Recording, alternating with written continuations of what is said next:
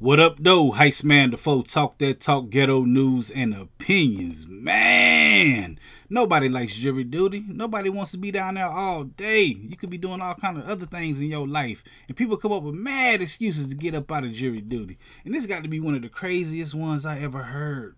During the trial of Nikolas Cruz is going on right now. If y'all don't know what happened, man, y'all need to look this up, man. There's some wild things that happened, man. I don't want to get into it, but yo, RIP to all the victims of this, man, and you know but yo, during this trial, the woman by the name of Miss Bristol, she um told the judge that she don't want to be a juror on this trial. She said because she got a sugar daddy.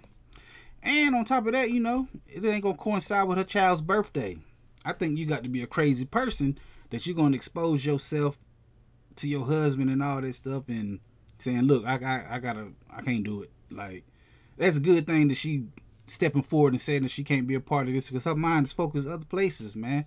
Um, and this it's it's a trial, man. This this trial right here is something else, man. Um, like I said, R.I.P. to the victims of this and all their family and all that stuff, man. But she don't need to be a part of this if she gonna be focused on other things like that, man. It's it's wild, man. But uh, sugar daddy, you gonna expose yourself, tell everybody your business because you don't want to be a part of this. That's wild, man. But we definitely gonna be talking about this Friday right here on this channel because I go live every Friday talking about stuff just like this. Um, hit that like button, the comment button, the share button, the subscribe button, the notification bell.